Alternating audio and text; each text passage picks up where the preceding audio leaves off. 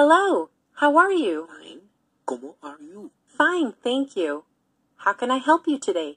We are looking for Mr. William Morningstar. We are detectives helping to find him. Of course. Come right in.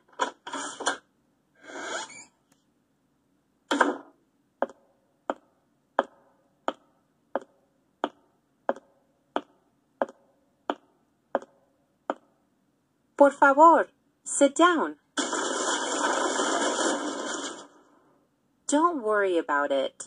It was an old silla. Here, sit on the sillón. Can I offer you gentlemen something to drink? Sí. Coffee? Yes. No. Tea? Yes. No. Soft drink? No. We don't want anything. Gracias. What can you tell us about Mr. William Morningstar? Do you recordar when you last saw him? It was about tres weeks ago. What does William do at the escuela? Not much. I mean, what was his trabajo?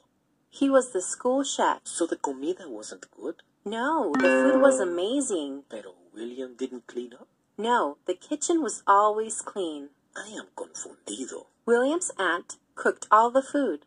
She would package it up for William, y he would bring it here at lunch tiempo, let the kids serve themselves and clean up after themselves. Then he'd tomar a nap. Did you notice anything inusual about William? He was very lazy. Perdón. Well, he didn't do much around here. He was supposed to cook the food and help the children, but he didn't do his job very well. He was perezoso. He sounds very nice. He drank our leche. He spilled the orange juice. He dropped the pan.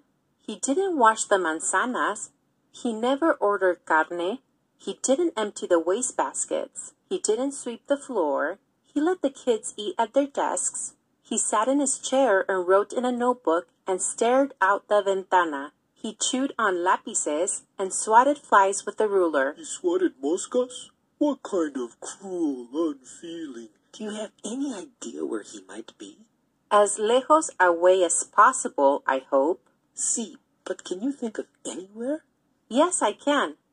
The cementerio.